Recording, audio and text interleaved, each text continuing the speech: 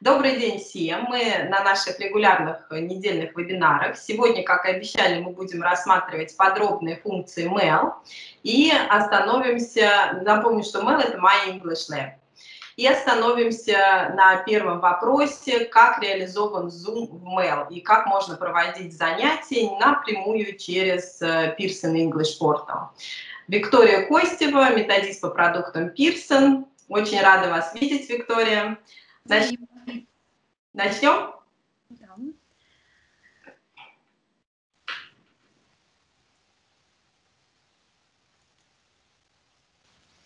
Я демонстрирую сейчас эм, аккаунт, э, аккаунт преподавателя, э, где появилась вот такая замечательная кнопочка. Да, сейчас мы выходим еще разочек с dashboard. Мария, видно э, dashboard? Да, все видно хорошо очень. Ага. То есть вот это вот аккаунт и первая самая страница с которой мы заходим да, а, в наш аккаунт. И у нас, кроме Products и Classes, появилась вот такая кнопочка а, Class Schedule. А, что это такое? Это организация онлайн-уроков, Zoom-уроков.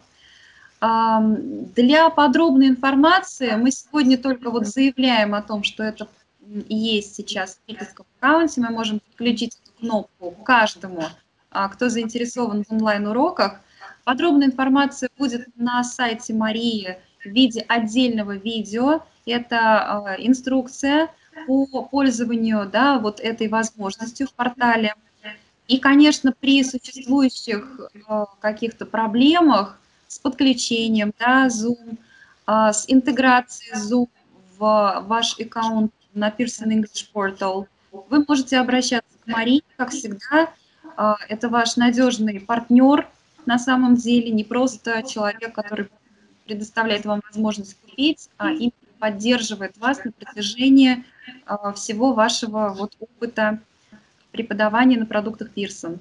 А, я скажу вкратце, что в данном случае мы видим расписание, где мы можем запланировать какое-то какое событие, урок это будет или это будет встреча, а, и а, значит, вот, этот, вот это расписание, которое мы видим, онлайн-расписание, оно интегрировано в Google Calendar, а, откуда как раз и происходит приглашение, рассылка приглашений на урок либо на встречу с подключением функции Zoom. Опять-таки, в чем выгода да, ваша от такого такой интеграции, это, конечно, вы не заходите в несколько приложений, вы заходите исключительно в ваш Pearson English Portal аккаунт. И отсюда у вас менеджмент всех уроков а, происходит с помощью платформы Zoom, это онлайн-мессенджер, да, как мы знаем, а, и, то есть вот это слияние онлайн-платформы и образовательной онлайн-платформы, в которой находятся ваши учебники и ваши группы, да, вот ваши классы. Поэтому это очень удобный инструмент. Я вас призываю посмотреть instructional видео на сайте Марии. И далее, а, если у вас будут вопросы, пишите, потому что мы встречаемся каждую неделю. Мы подробно ответим, потому что сейчас это все большой вопрос, да, что, что делать с этой кнопкой, как это работает. А, но когда уже вы попробуете, когда вы посмотрите, как это делается шаг за шагом, у вас будет более четкое понимание, и, соответственно, мы будем отвечать уже на конкретные вопросы, которые будут действительно являться какой-то, возможно, каким-то, да, таким вызовом для нас. А, Мария? Да, я еще, а, не, не выключайте, пожалуйста, Виктория, можете вернуть? Да, конечно. Остановлюсь на Zoom. Я на Zoom работаю давно через Pearson English Portal, но вот этот вот класс Schedule, они появились только что, вот буквально пару дней назад была презентация вот этой новой функции. И еще а, вы можете подключить кнопку Zoom, то есть доступ через Zoom. Аккаунт Zoom вы создаете отдельно или входите в свой уже существующий. И как вы знаете, там есть как платные, так и бесплатные аккаунты, которые пред, э, предлагает Zoom. Но, насколько я помню, если вы с одним учеником, аккаунт всегда бесплатный. Поэтому э, обращайтесь, если возникнут вопросы, всегда помогу и все расскажу. Большое спасибо, Мария. Переключаю вас. Виктория, теперь давайте поговорим о настройках. Что же у нас содержится или спрятано под кнопкой Settings? А, я демонстрирую еще раз да, экран. Опять выхожу а, на самую начальную страницу Pearson English Portal, потому что сегодня речь у нас идет о платформе My English Lab. А, но а, выход на My English Lab, он осуществляется все равно вот с первой а, странички входа, да, с dashboard. А, прям вот два слова по поводу а, вот этой страницы. Здесь вы можете быть представлены как учитель и как ученик. То есть учительский аккаунт вам открывает а, с, с помощью Марии издательства Pearson, и у вас появляется на кнопочке, видите, на highlighted with yellow, у вас появляются здесь ваши учительские курсы, а там, где Learn, это если у вас есть необходимость подключить ученические аккаунты. Либо, друзья, на сайте pearsonlt.com, и мы с Марией договоримся, чтобы она выкладывала вот эти вот своевременные, такие вот актуальные новости по появлению чего-то интересного для учеников на портале. Вот у меня, например, здесь открыты учительские, ученические а, материалы к курсу «Фокус». Да, то есть это не а, платный код, который я сюда зарегистрировала, это просто ученический аккаунт. Я хочу показать, например, что входит в бесплатный ученический аккаунт. Поэтому я загружаю это, и вот я вижу, что есть аудио, есть word list. Это вот что касается а, вот этой кнопочки и входной страницы Dashboard.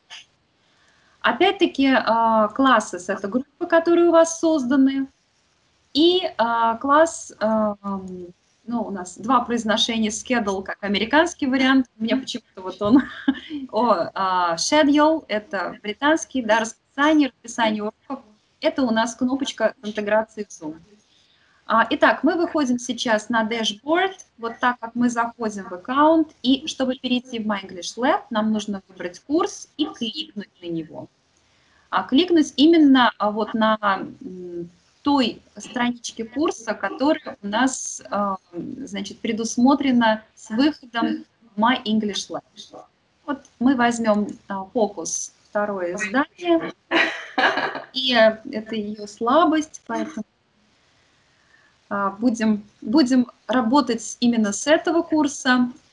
А, итак, наш интерфейс. Да, наш интерфейс. А, пять основных кнопок. И сегодня, вот сейчас Мария просит, чтобы мы начали с кнопочки Settings, кнопочка настройки. Почему с этой кнопки мы начинаем? Потому что именно в, в кнопочке Settings мы можем добавить да, а, новый продукт для ученика и для учителя. Но для учителя это делает издательство, для ученика он делает самостоятельно. Мы можем создать новый а, курс. А, значит, продукт – это учебник, это scratch-код, который либо это цифровой код, который получает покупатель да, кода, а курс, он создается на базе продукта, и а, количество курсов на базе, например, фокуса а, Level 2 Second Edition может быть создано неограниченное количество, скажем честно, то есть пока, да, пока у нас варьируется где-то тысячи курсов, но это уже как бы из серии нереального, да. А, итак, кнопочкой Create a New Course мы создаем связь между учить, учительским аккаунтом и ученическим аккаунтом. Эта связь осуществляется через уникальный ID курса. Мы создаем новый курс.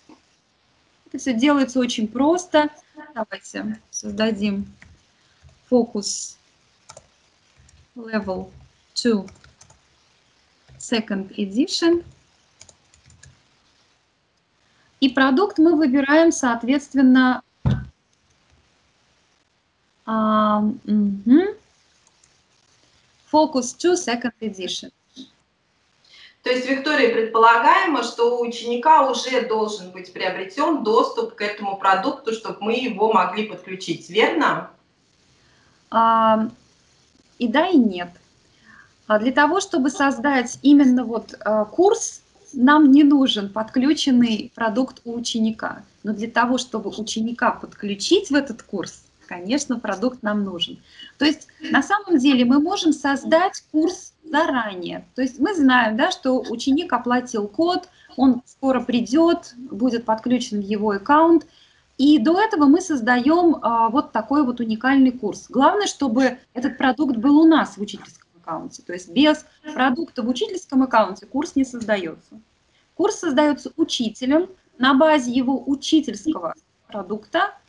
И а, вот такой вот уникальный ID мы получаем при создании курса. Мы можем напечатать для наших студентов, да, которые будут присоединяться потом а, к, нашим, к нашему курсу созданному, вот такой summary.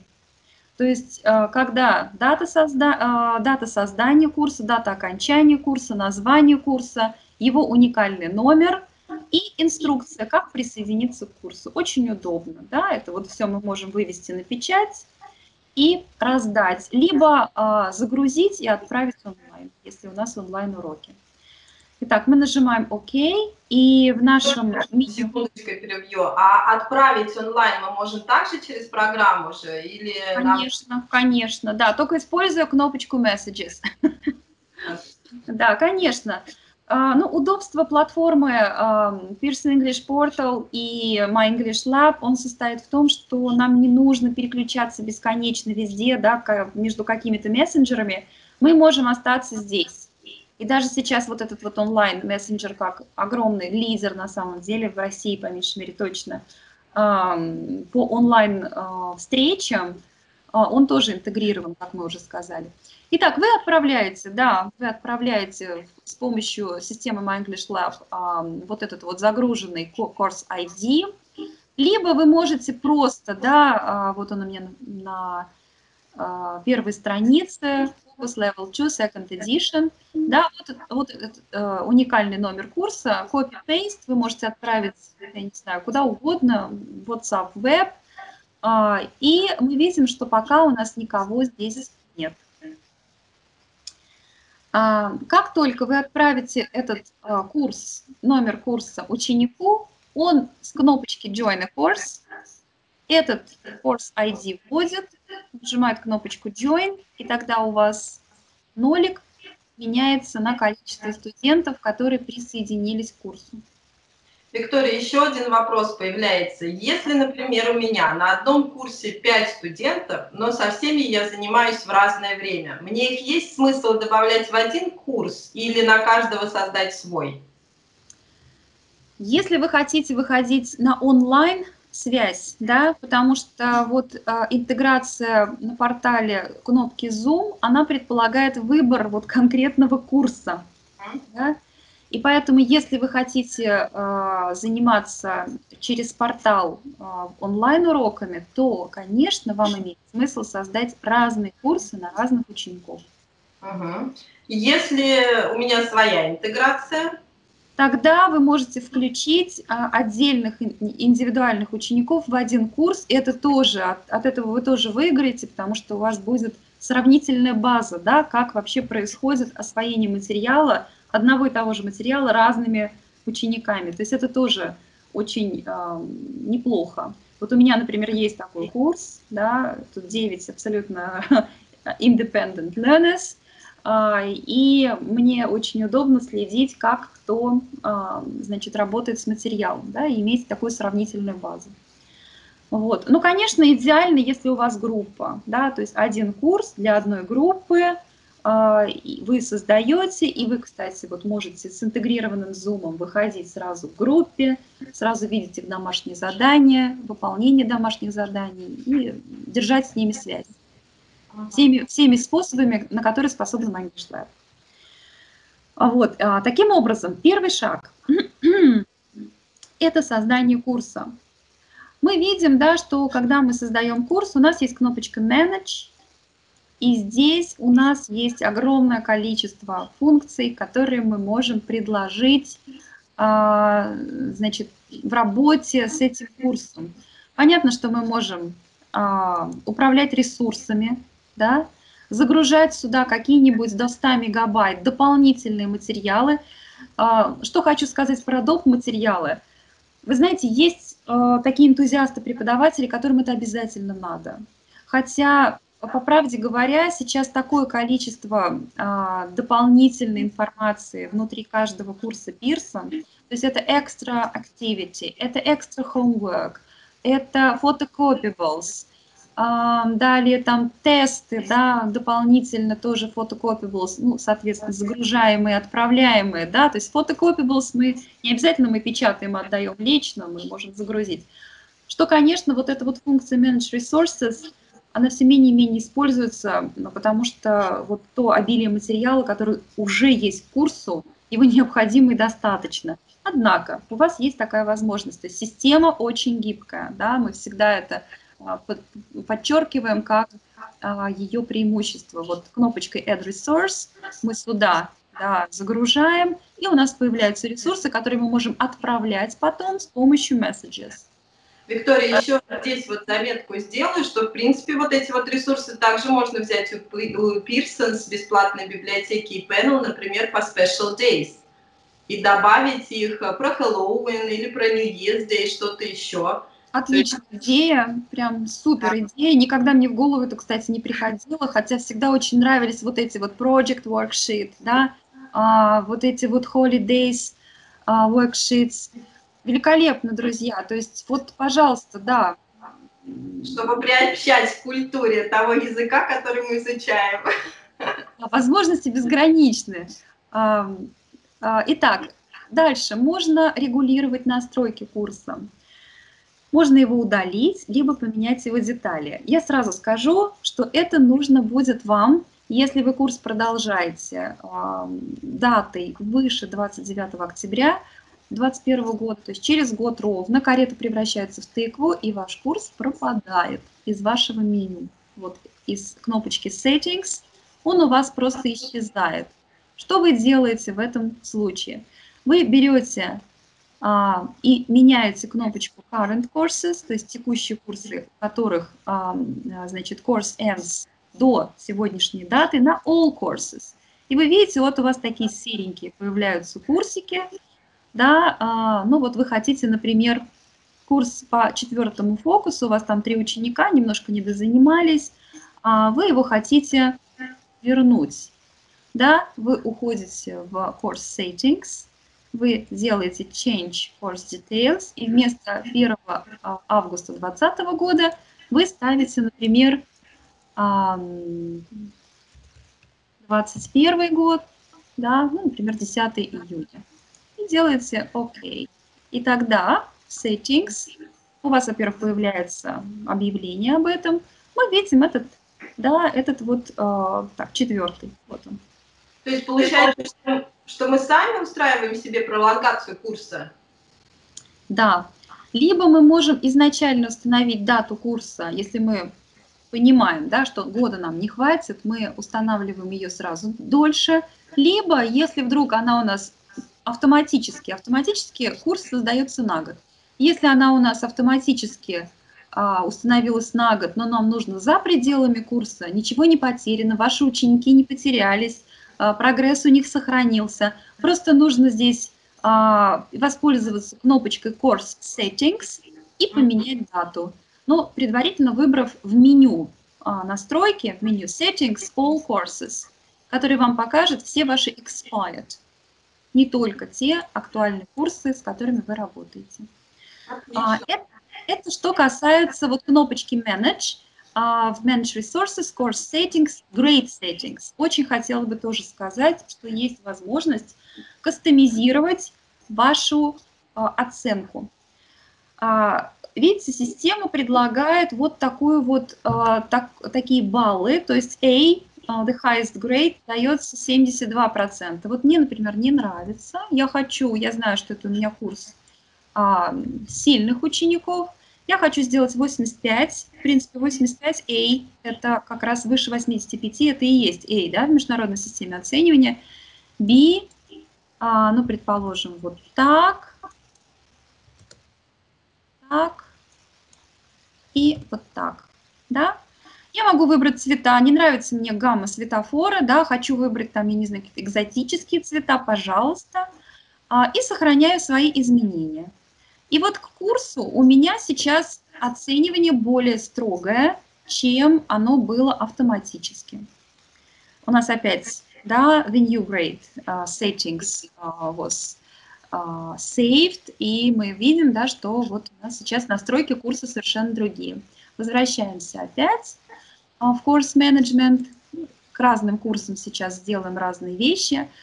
Uh, это вот что касается именно настроек курса. Но самая первая вкладка – это настройка студенческого доступа к курсу. И что мы здесь можем сделать? Посмотрите. Мы можем удалить студента из курса, мы можем переместить его в другой курс. Ну, например, а, в прошлом году у нас назывался курс, например, «Фокус 2020». Да? Мы захотим создать новый курс «Фокус 2021», но у нас остался еще а, контент по ученикам, по именно продукту, да? и мы перемещаем наших учеников в другой курс. А, и самое, наверное, вот сейчас животрепещущее – это Register New Students. Когда мы регистрируем нового студента, у нас есть три способа, друзья, это сделать. Первый, самый простой – это когда студент регистрируется сам со вкладочки Pearson English Portal, а, Register, создает свой кабинет, вбивает туда код, либо код туда добавляется с помощью онлайн-магазина Марии – да, а, либо мы это делаем сами. Как это происходит? Можно мне заметочку? Я прошу всех преподавателей, которые покупают э, коды для своих студентов, чтобы они указывали email студентов, чтобы не возникало дополнительных сложностей, и чтобы студент сам активировал этот код на своем компьютере. Иначе есть риск того, что код студента попадет в компьютер преподавателя, в его личный кабинет. Да, абсолютно верно. Поэтому обращайте на это внимание, пожалуйста. Но если уж проблема случилась, то ее преодолеть можно, преодолевается она быстро, но нужно по возникшей ситуации. Вообще, Спасибо. Спасибо вам, Мария, потому что это очень важно. А, вообще общая такая рекомендация, если вы только начинаете работать с онлайн-продуктом, вам, конечно, нужен кто-то, чтобы а, был на связи и помог в случае каких-то вот таких нестандартных ситуаций. Поэтому, конечно, в этом отношении я считаю, что сотрудничество с интернет-магазином Марии и с ней самой, это, конечно, для вас большое подспорье. Я, вот поверьте, очень много знаю случаев, когда э, преподаватели действительно видят все преимущества курса, но вот, вот и такого преподавания онлайн, и blended learning – но не могут решиться на это, потому что нет э, опоры. Да, вот и что касается меня, я готова прийти на э, помощь, но вы должны понимать, что, э, например, в зону моего действия входит 14 регионов Приволжского федерального округа, миллионников, э, и, соответственно, представьте себе, сколько клиентов. Я просто физически не успеваю. И поэтому в этом отношении э, мы с Марией создаем вот все условия, чтобы как можно больше информации до начала работы с курсом был у преподавателя. Э, и, конечно, вот этот объем информации, он, конечно, намного лучше э, как бы в деле да, осваивается, но вам обязательно нужен человек, к которому вы обратитесь. Поэтому вот в данном случае у вас великолепный контакт. А, итак, друзья, регистрируем студентов. Мы можем одного, либо нескольких зарегистрировать. Да? А, если мы а, регистрируем одного студента, нам нужно придумывать, вернее, указать латиницей или кириллицей его имя, фамилию, придумать ему логин или username, как здесь написано. Пароль генерируется, мы можем его стереть и написать свое. Access code optional. Вы видите, мы можем его ввести, а можем его и не вводить. То есть при, например, интернет-продаже кода вы можете создать ученику аккаунт, указав обязательно его личный email. И этот email, вот уже чтобы все было действительно наверняка, указать при покупке кода. И тогда две кнопочки вы здесь обязательно информируете. Submit, у вас создается кабинет, и Мария уже добавляет вам код непосредственно ученику. То есть либо он может сделать это сам со вкладочки, либо вы можете это сделать самостоятельно.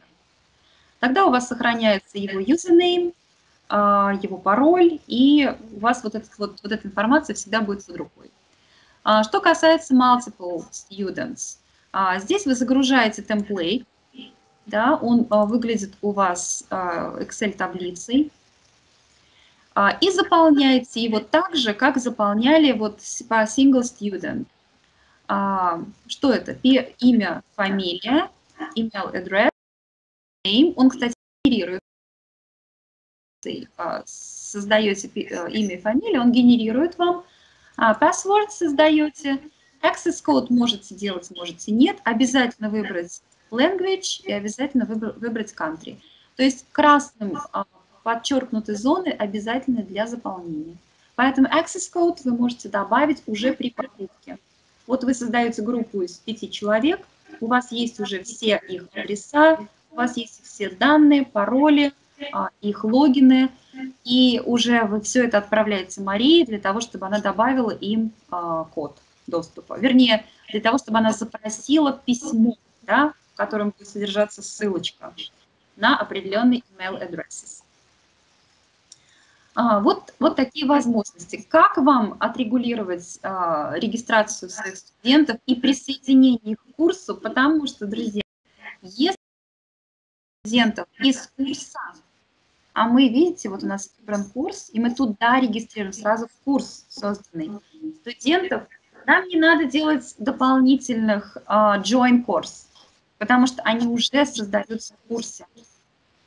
А если мы регистрируем отдельно uh, курс, отправляем вот такой вот uh, файлик, да, вот он у нас, uh, то это дополнительный, как бы, дополнительное действие, которое студент наш выполнять самостоятельно.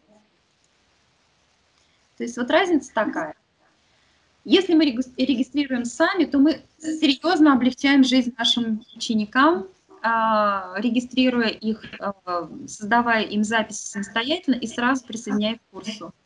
И исключаем их ошибки. Исключаем их ошибки, да. Но это не всегда удобно самому преподавателю, и все-таки если ученик там старше 13 лет, то вот в принципе ничего сложного зарегистрировать запись свою, и ничего сложного нажать, вот когда будет а, уже такой же абсолютный аккаунт Join a Course, и, и вбить туда copy-paste uh, course ID, ничего сложного в этом нет.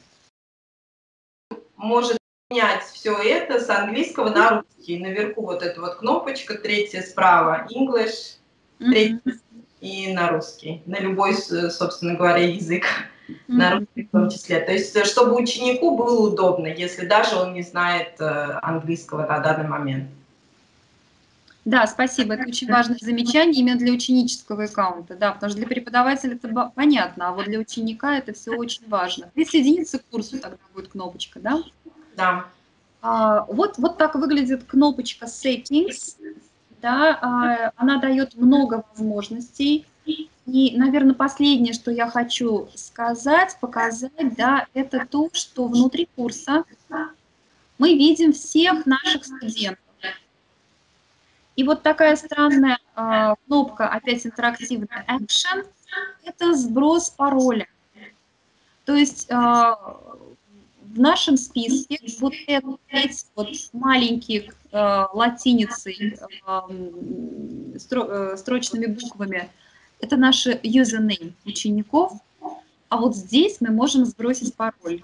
Поэтому если вдруг ученик потерял э, доступ к кабинету и доступ к почте, как правило, бывает так, что все забыл, э, мы можем восстановить его логин, вот отправить ему логин, и а, сбросить пароль. Вот такой временный пароль, такой, понимаете, вот такой вот сложный. Давайте вот мы сейчас его скопируем. Ага. Нам надо будет выйти сейчас из аккаунта. А, Ева, угу. сейчас мы зайдем в ученический аккаунт.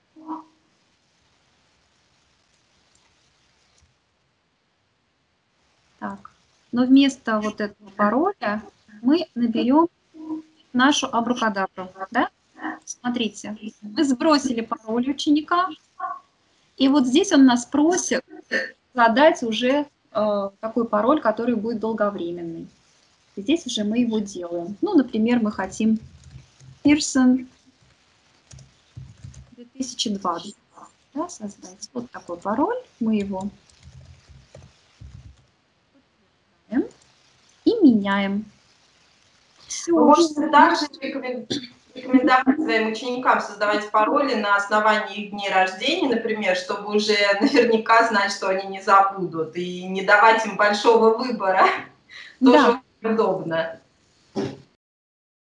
Я опять захожу в свой аккаунт, свой дашборд. А, мы сейчас сбросили с вами да, за одну минутку пароль ученика, который забыл его, а, забыл свой логин, забыл свой пароль, забыл доступ к почте, поэтому ничего не может восстановить. Пожалуйста, это не является оправданием, мы а, это сделали за него. А, так, следующим этапом, да, давайте мы сейчас немножко другой курс возьмем. Я думаю, что, Мария, кнопочка Settings у нас примерно показана. Я думаю, больше, чем примерно даже. Да, и теперь, Виктория, вопрос э, в том, как же задавать эти домашки. То есть зачем э, задавать домашки и как э, смотреть по ним всю аналитику, мы разобрали в предыдущем семинаре, который можно также посмотреть на нашем канале YouTube English for Purpose. Вот. А теперь же вопрос, как задавать эти домашки. Все верно, все верно. Итак, мы сейчас находимся с вами в другом курсе, это GoGet.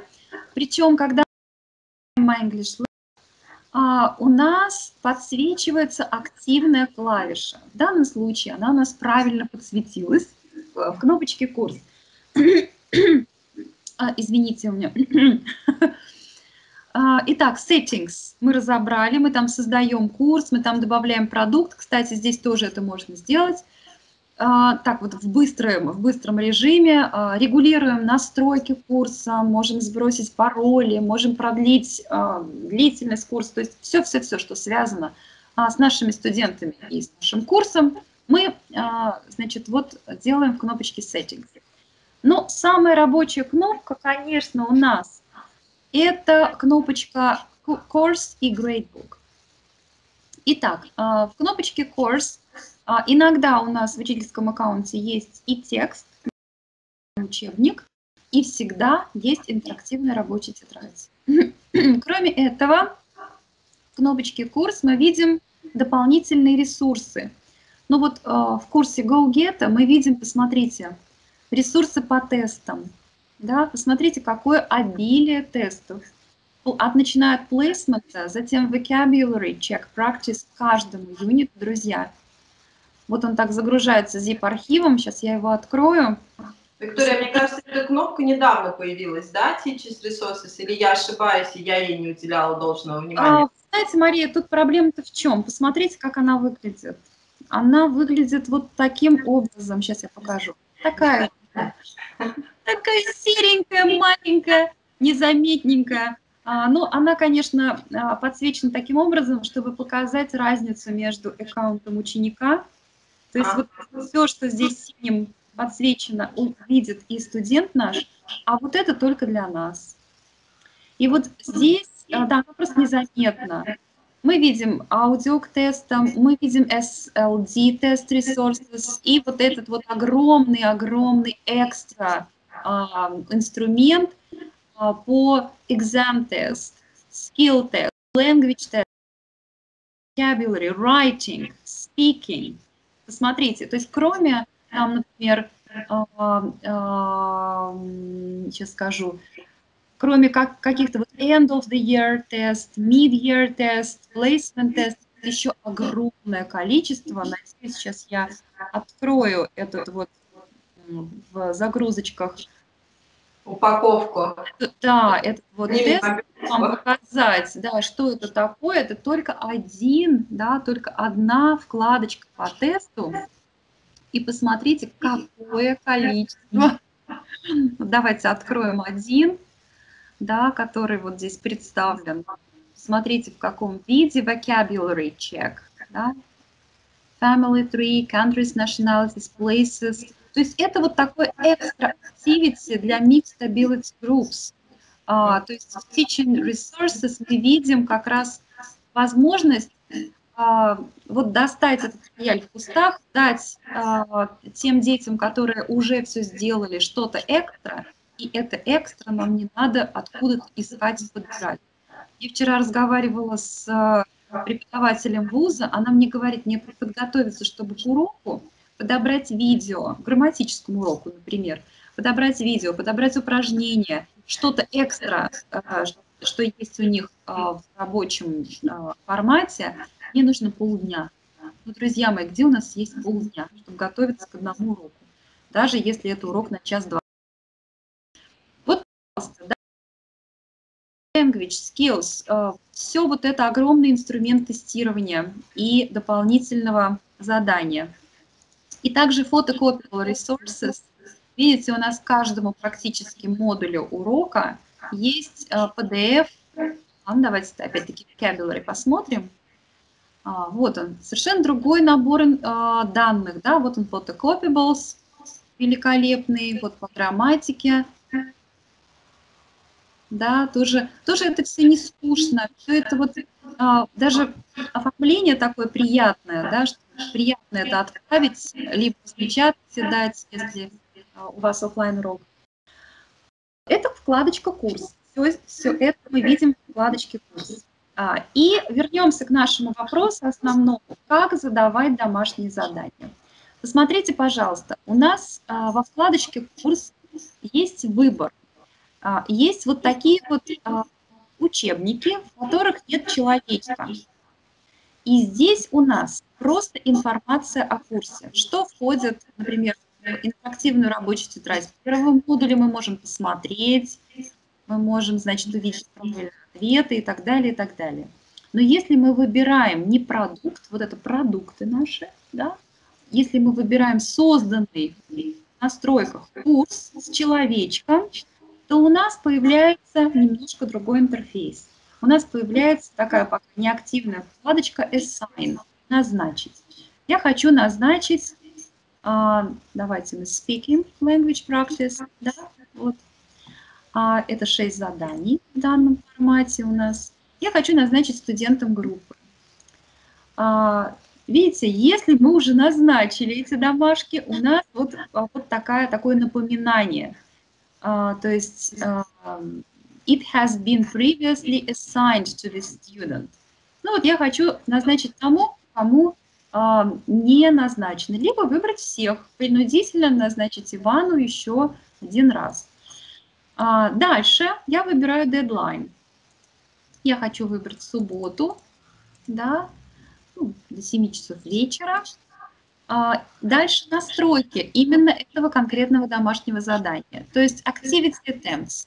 Я выбираю три попытки. После двух попыток студенты видят ответ.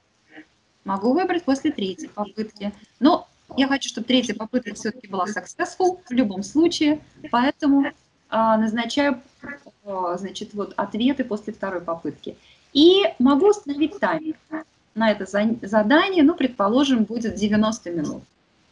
А зачем вообще устанавливать время, Виктория? Какие есть вот. варианты? А, значит, зачем устанавливать время, в принципе, да, зачем это может пригодиться? А, это может пригодиться в группе для того, чтобы а, абсолютно исключить читинг да, то есть потому что э, таймер, который тикает, он не дает возможности позвонить, спросить, какие у тебя варианты ответа, где-то там гуглить, он будет э, направлен на работу с заданием. Причем за эти 90 минут надо сделать шести заданиям, если у вас есть ошибки, да, три попытки для того, чтобы выйти на 100%. Можем не добавлять? Я никогда не добавляю честно скажу, да, потому что э, это, это лишний стресс. С другой стороны, учат не бояться тестов потом. Да, да то есть, опять-таки, вот эта вот э, гибкость курса, это, это вы будете э, в соответствии с своими задачами да, определять, надо вам это или нет. И как только мы задали, у нас это домашнее задание появляется в кнопочке Assignment. Видите, вот наши 6 Speaking Language Practice Tasks появились э, в нашем Assignment. Я вижу, сколько студентов у меня по этому заданию работает. Это одна девочка. Пока она не сделала. Я вижу дедлайн. Да, а вот он, 31 октября, 7 часов вечера. Я вижу, когда я назначила. И могу посмотреть уже по готовым, а, по сделанным домашкам. Я могу посмотреть уже из вкладочки Assignment. Это не очень удобно, но возможно уже какой-то отчет. Вот, например я вижу, могу посмотреть прям с выходом на упражнение и вижу, что все у нас тут отличненько.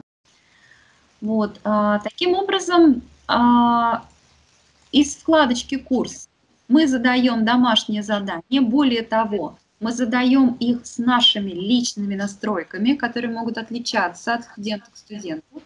И во вкладочке Assignments мы сразу видим, что мы задали, а наши студенты видят, что им нужно делать.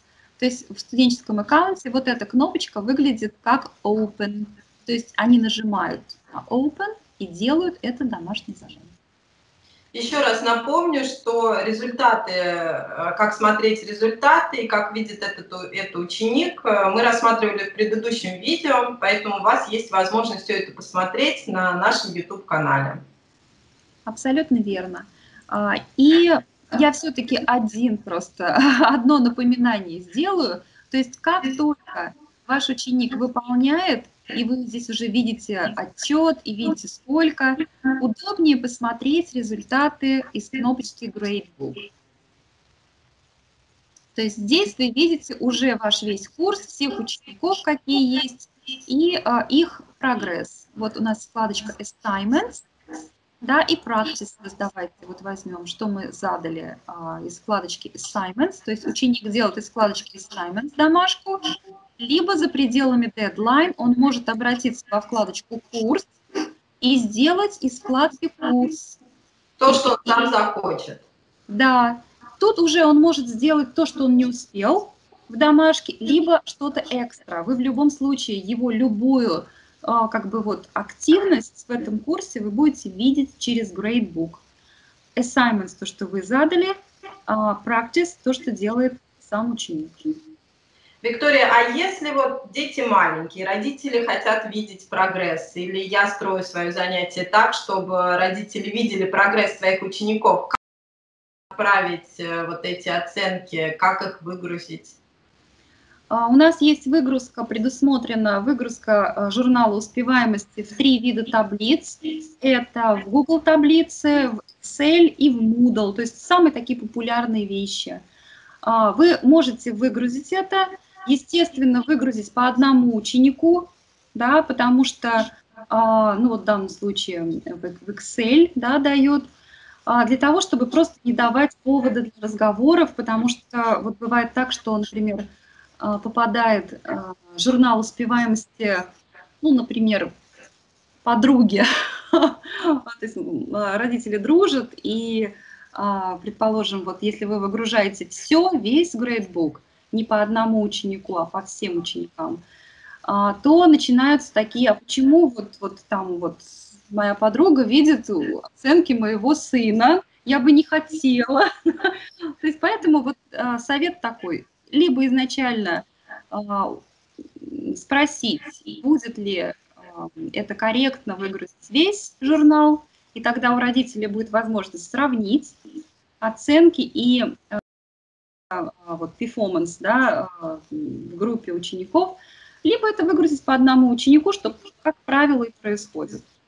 Также у нас есть так называемая диагностика, да, и в диагностике мы тоже можем видеть прогресс и вот здесь мы можем э, сделать скриншот да, и отправить, э, опять-таки, либо по всем ученикам, диагностику лучше делать по всем ученикам, либо просто сообщить, сколько времени потрачено ребенком на выполнение э, домашних заданий и на выполнение э, тестов.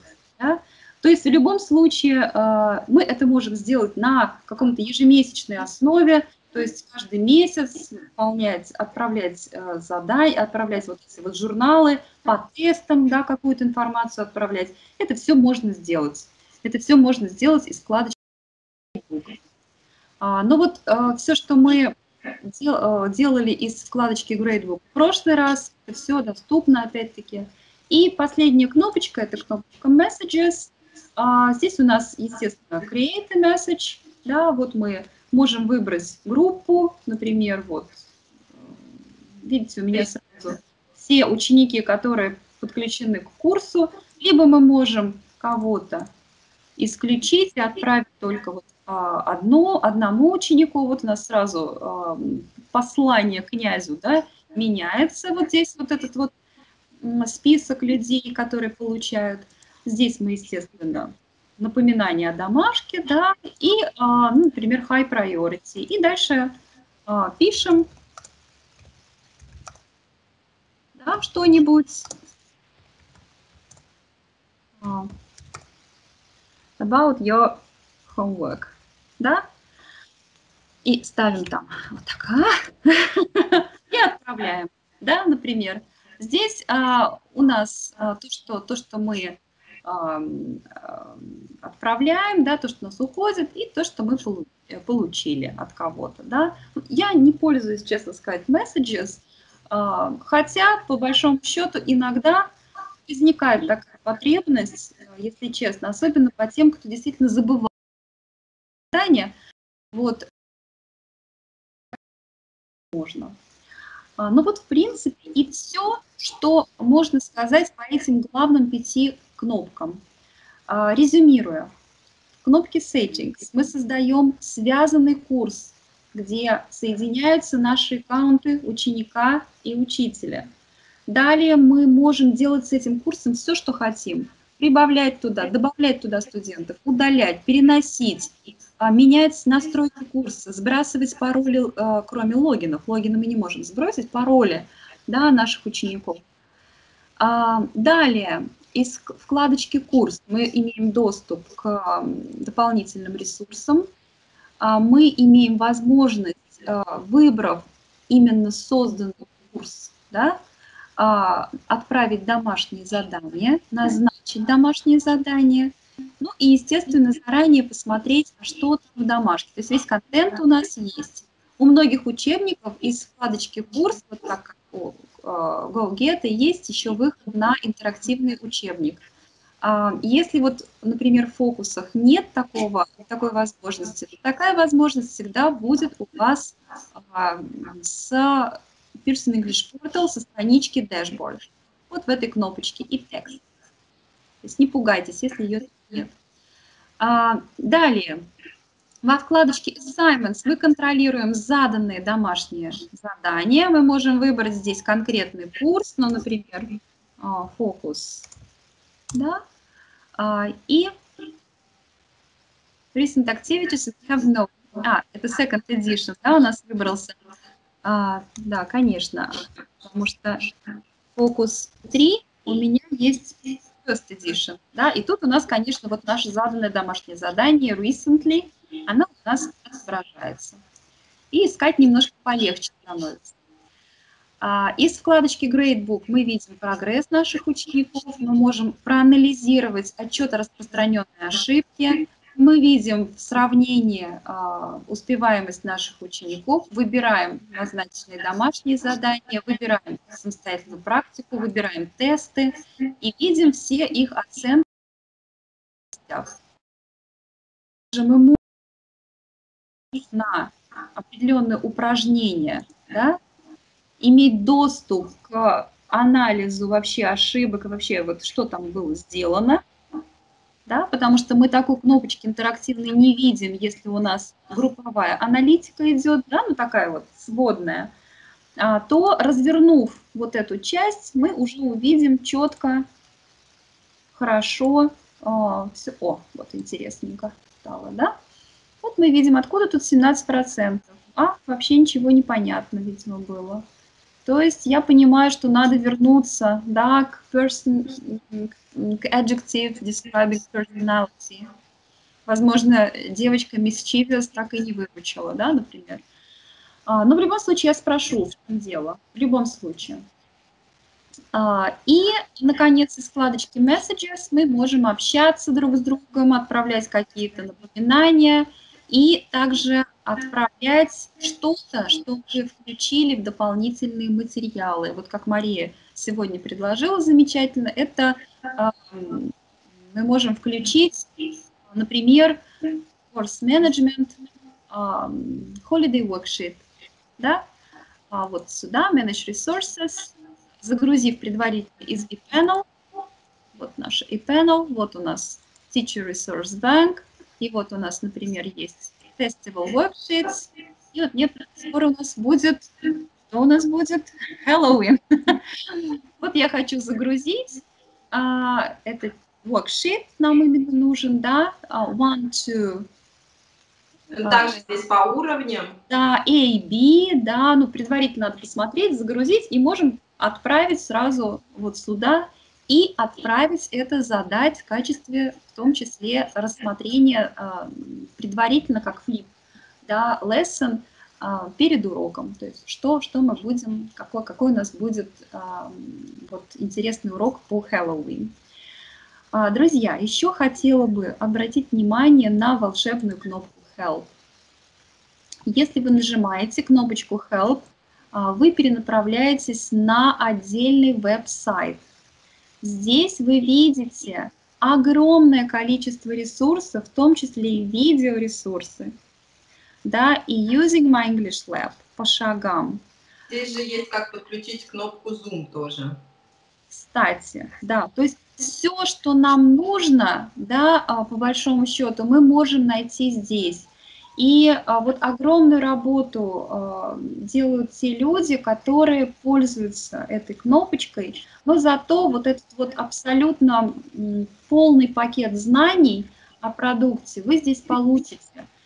Другое дело, что очень редко бывают, а, бывает время да, у преподавателей на это, поэтому, опять-таки, Мария здесь все изучила и может вас быстро реагировать, и в том числе по обращению на этот сайт, а, ну, например, Using My English Lab, да, вот давайте мы его откроем. Посмотрите, да, вот они.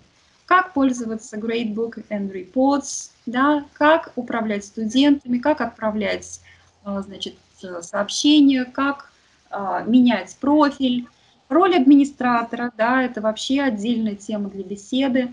То есть э, здесь, в принципе, все очень хорошо и доступно сказано, но, правда, исключительно английский язык. То есть, например, для студентов, которые не владеют пока языком, это нереально уже будет сделать. А, Мария, у нас осталась буквально тут минутка да, до окончания нашей записи. А, я думаю, что мы на сегодня наш, нашу задачу выполнили. Как вы считаете? Да, конечно, Виктория, спасибо большое. Было все очень информативно. Вот, поэтому призываю всех, кто хочет полностью использовать функционал My English Lab, просмотреть это видео и, может быть, даже какими-то частями, и частями начать принимать, а, применять это все на практике. Если какие-то конкретные вопросы, обращайтесь, обязательно помогу. Спасибо большое вам, Виктория.